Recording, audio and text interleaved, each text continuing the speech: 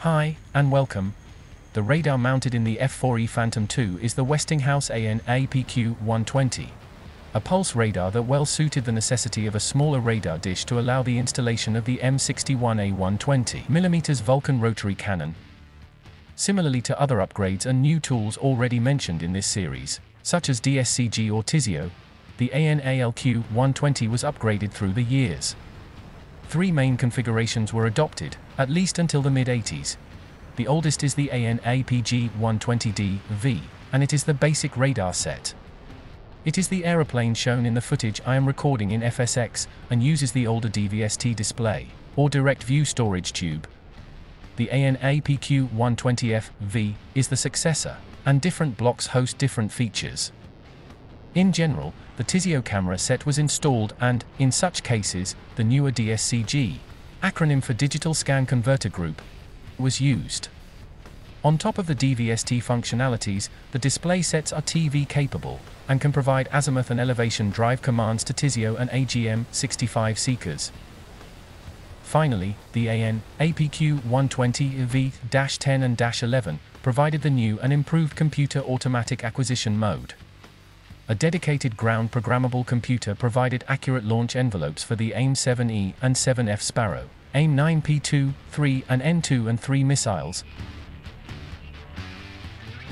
Most of the radar controls are located in the back seat, the WISO's office. If you haven't already, I recommend checking the previous part of this series, dedicated to air-to-air -air missiles and related controls, as the name suggests, the radar set control panel hosts several controls related to radar operations. Starting from the top left corner, we find the radar power knob. Skipping off and test options, we find the standby position. This setting maintains the radar in ready condition, minimizing the time necessary to switch to full operation. It would take circa 3 minutes, in fact, to instead move from off to operate. The standard employment mode is operate, indicated by the acronym OPR. In this setting, the system is fully operational. Emergency is the last option and bypasses most of the initial delay, and pressure and temperature interlocks. Moving clockwise, we find the polar switch, a three-way switch that controls the polarization, and therefore the orientation of the lines of electric flux in THR electromagnetic field. Lin short for linear, is a standard option, and it is normally used to employ the AIM-7 Sparrow. So 1 or circular 1 rotates the RF energy clockwise, and still allows the employment of the sparrow. Finally, CIR 2 or circular 2 is automatically commanded when the radar is in beacon mode. However, AIM-7 Sparrows cannot be employed in this mode, as the waves are out of phase. The radar range knob is straightforward, with the peculiarity that the ranges between 5 and 50 are clearly marked and separated from the values 100 and 200. The reason is that those four initial positions are AI, acronym for Air Intercept. When selected, the corresponding range light is activated in the cockpit. 100 and 200 nautical miles are instead used for search or mapping, but there are some peculiar cases, as we will see later. In DSCG Phantoms, the range is also displayed on the scope. The maneuver switch is a two-position control used to control the tracking loop responses. The low G option limits the acceleration responses to clutter and countermeasures, whereas high G is better suited for air-to-air -air combat. Note that, when CAA is used, high G is selected automatically.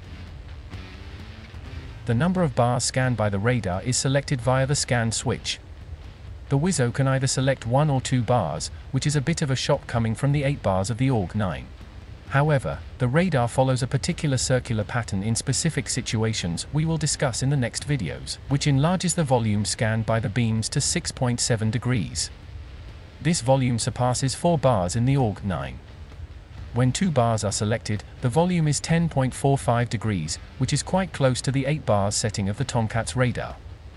Here is a curiosity, if you follow 10% True, Steve Davies Discord and YouTube channel, you may have watched the walkthrough of the F4G cockpit. Since this aircraft is a conversion of the F4E, some parts, such as the panel we are discussing, have been maintained. In that video, Starbaby mentioned how, in real life, the switch was always set to one bar. I asked him about it, and the issue is related to how, among other things, two bars turn the contacts into intermittent hits, making them harder to spot. Away from that, the 1 bar option is automatically selected in air to ground or map modes. Otherwise, two bars can be chosen, which adds another scan plane, separated by 3.75 degrees. In both cases, the elevation angle is adjustable using the thumb wheel located in the antenna hand control. The aspect knob is used with the AIM-7 Sparrow. A similar knob is located in the F-14 armament panel, but it is not implemented in DCS, due to the game's restrictions. The purpose of this control is feeding information to the Sparrow, providing a predetermined and simulated Doppler value. Rather than actual inputs, the knob is used after the missile tuning, and the four positions between nose and tail allow to lock the missile speed gate in the region of the target Doppler. Why behaves differently. If selected, the speed gate searches the entirety of the spectrum, overriding other Doppler inputs. Depending on the version of the F4E in use, the knob serves the dual purpose of showing different values rather than only the range on the scope, as we have discussed earlier. In particular, the nose position shows the target aspect angle and the altitude, displayed in hundreds of feet, using different time length to discern them. The altitude is displayed for 2 seconds, the aspect for 4 seconds. In other older versions of DSCG Phantom, the aspect is displayed using the nose position, and the altitude using the forward option. The tail position shows the approximated target heading. The receiver gain knob, quite an odd looking one. It is used to adjust the gain of the radar in certain operations, and it is automatically bypassed when tracking a target. This will be a fundamental tool for the WIZO. The track switch is an interesting one. This three-position switch allows the WIZO to compensate for heavy clutter environment by manually performing radar tracking operations, when set to auto, as the name suggests, range and angle tracking are performed automatically. If the target is maneuvering beyond the radar tracking capabilities, the WIZO can action the maneuverer switch to compensate. The manual position sounds like a lot of fun. The WIZO initiates manual tracking and positions the range strobe in range from a closing target, then adjust the manual V sub C control to match the target video moving range. It is basically something in between Space Invaders and Tetris. The last option is AOJ out where AOJ stands for acquisition on jamming. This feature allows a source of noise or jamming to be automatically tracked in angles when in search mode. This position of the switch disables AOJ, returning the radar to a search configuration. The display knob controls both the perspective and the azimuth of the display. In B mode, the WIZO can manually control the sweep using the half action on the trigger switch, something similar to the DDD. The difference between wide and narrow is the width of the radar swept volume. Wide corresponds to 120 degrees, narrow to 45 degrees. PPI stands for Plan Position Indicator. They share the sweep volume with the B modes, but there are differences. PPI wide is used along the radar in map mode. Narrow instead can be manually positioned in azimuth by the WIZO, and also provides a range cursor for mapping or bombing purposes.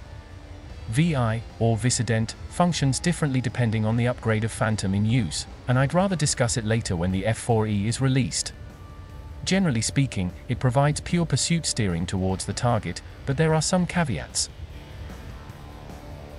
The manual V sub C control knob, or MAN V sub C, is the oddest control on the radar set control panel, resembling the timer of a toaster rather than a piece of avionics of a mean fighter jet. This tool is, however, essential to operate the radar in manual mode. If the range rate is opening, ergo the separation is increasing, the V sub C control is rotated counterclockwise, from position 0 through 2, otherwise the others. As mentioned before, the idea is using this control along the radar set in manual. The WIZO should spotlight the target using half action, position the strobe slightly below the target, ergo a bit closer to the phantom, then use full action. The range is then extrapolated as a function of the position of the range strobe, whereas the closure rate is manually set using this control. The WIZO should carefully try to match the closure with the correct knob setting and make sure that the target video and the range strobe are moving in the same direction. When the correct setting for V sub C is determined, the WIZO should use half to overlap the range strobe to the target, and then press full action and release. Something I noticed is that the range rate indicator has a series of numbers arranged on the outer circle in a comparable manner. If that is the case, this would help to get a feeling of the correct values to input. I honestly do not know in what cases the radar in manual mode should be operated, but it sounds like a ton of fun already. We have only three controls still left to discuss in this panel, so let's quickly see them. The pulse switch is a three-position switch that controls the radar pulse width and the pulse repetition frequency. The default mode of operation is auto, and the switch has no function when the radar is in air-ground mode. The other two options are long and short. Long allows greater detection range by setting low PRF and wider pulse, but makes the radar less capable of discerning multiple contacts on the same bearing. Short instead is used for AI ranges and has higher PRF. This mode increases detection capabilities at shorter ranges. The skin track light indicates tracking with range lock-on. If range memory or home on jam tracking are active, the light remains off. The last control is the radar mode knob. This 6-position knob allows the WISO to select the main radar modes of operation. Each mode also has a number of submodes, but those will be discussed later. Clockwise, we find the BST position, or boresight mode. This mode is used in both search and acquisition, and the antenna is set to 0 degrees azimuth, and minus 2 degrees of elevation. The idea is using the sight reticle to match the target, and then lock it. After this, the fighter can maneuver freely. RDR, or radar mode, enables air-to-air -air radar search functions, and lock-on and tracking if the range is between 5 and 50 nautical miles. This mode represents familiar indications to the WISO, such as the aircraft attitude or the elevation strobe. On top of that, the B-sweep is displayed. Somewhat similarly to the DDD, this line moves in conjunction with the radar antenna. The radar mode allows the WISO to use half and full action to acquire a target and employ missiles. There are additional submodes initiated, for example, when jamming is present, but those will be discussed in a later video. The next option is MAP-B mode, and it is used when conducting search operations at low altitude. Since we cannot take advantage of pulse Doppler, understandably, clutter becomes a problem. This mode tries to reduce the issue by concentrating the antenna beam width, which should provide higher target resolution. Moreover, MAP-B mode overrides other controls, placing the radar to one bar, with linear polarization.